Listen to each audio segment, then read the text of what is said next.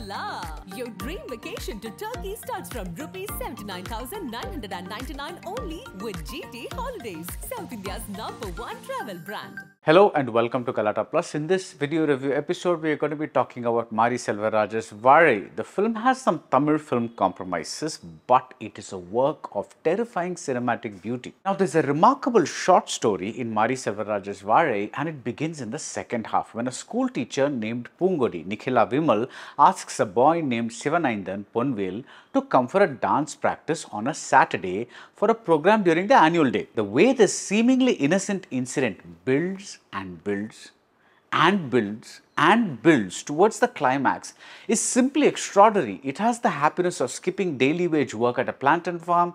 It has the sadness of hunger that goes on because every time the boy finds food, he is not allowed to sit down and eat. It has irony because the daily wage laborers eat heartily and had Sivanandan gone with them as his mother had asked him to, his stomach would have been fed, especially as his mother packed two meals for him. He is caught stealing, he is punished, then there is death, lots of death. This is one of the best passages of cinema I have seen in recent times. The story of Vaazhai is based on true events and it opens with Sivanandan in distress. Something is terribly wrong. He is weeping, he is limping, he keeps yelling and we don't hear human words, all we hear is an animalistic sound. Usually when a film opens this way, it's the writer or the director's way of starting with a high on a heavy dramatic note so that we are instantly hooked. That is certainly the case here, but this is also a false climax. The resolution to this drama occurs around midpoint and some people in the audience may say, is that all?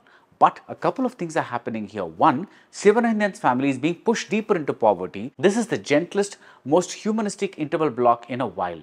And two, being poor means that the boy has to spend his weekends as a daily wage earner, like his sister and mother, carrying plantain loads on their heads between the farm and the truck that will take his produce to the market. This is the 1990s in a village named Karungulam, and the period is marked by references to Ramarajan, Rajinikanth, Kamal Haasan, and Vijay's Poove Unakkaga. Normally, kids look forward to weekends, but Sivanandan likes school and he is a good student. He does not want to be a daily wage earner. We have heard of kids playing truant, skipping school, but here it is the reverse situation. Sivanandan wants to go to school and play truant at the banana plantation. This is a story told through Sivanandan's eyes and he sees everything. He sees how much in debt his mother is. He sees how much like his father Kani, that is the Kalaiyarasan character is. The young man speaks of oppression and exploitation and low wages and we see that Sivanandan's father was once a card carrying communist. Even the conflict between Kani and his employer is introduced to us through Sivanandan and soon after when he is chased from the scene, we move to another scene instead of returning to what happened in that conflict because Sivanandan is no longer there. There is one part of Vaazhai that some of us may never fully understand because it is so autobiographical. A constant sense of guilt hangs over the film and a part of it may be survivor's guilt. Also, Pungodi is a reincarnation of the kind teacher from Pariyerum Perumal. Like in Karnan, we get a constant sense of the local gods watching these happenings.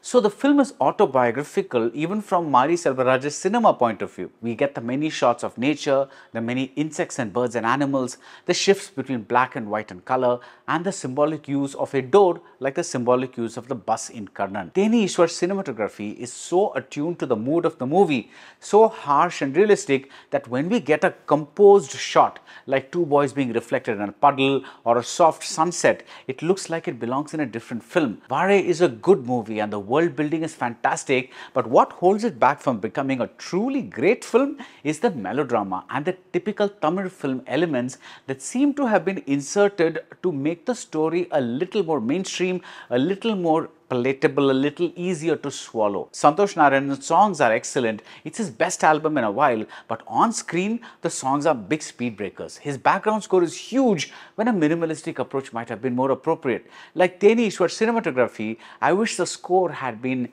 invisible. It's fun to see Sivanandan and his best friend Shekhar, played by Rahul, but the scenes with Pungodi teacher go on and on and on.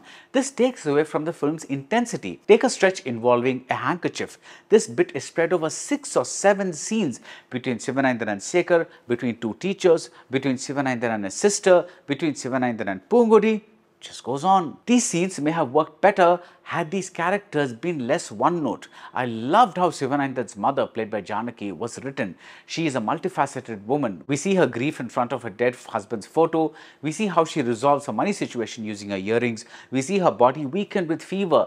And we see why she wants her son, her 8th standard son, to carry loads of plantains at the farm. Yes, his neck is getting bent because of this labor, but she says he needs to know how to work. These lines sound more powerful in Tamil. Ureka Janaki is excellent, as is Ponvel as Sivananthan. The boy has deeply expressive eyes and his performance is so lived in that acting seems an inadequate word for it. There is a fantastic edit when Sivananthan is lost in his black and white frames and we cut to his mother and sister carrying their loads at the farm.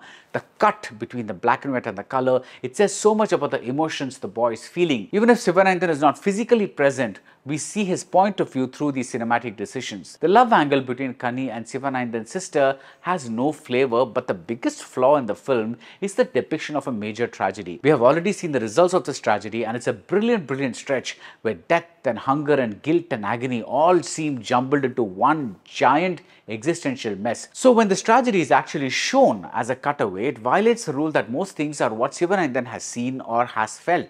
This takes us away from his point of view. And two, the huge and very typical melodrama diminishes the pain of the moment. But if these are the commercial Tamil film compromises needed to bring this story to screen, we really shouldn't be complaining. The short story in the second half of Vaazhai is a thing of true power and terrifying cinematic beauty. Most people in the theatre I saw the movie and sat through the sad song that plays over the end credits. It isn't easy to get up and go. The film stays with you and you want to stay with it as long as you can. And that's it about Vaazhai. And remember the Kottukkaali review is also on this channel because it was done from Berlin long ago. So if you like these reviews, do subscribe to Galatta Plus and see you soon at the movies. Hola! Your dream vacation to Turkey starts from rupees 79,999 only with GT Holidays, India's number one travel brand.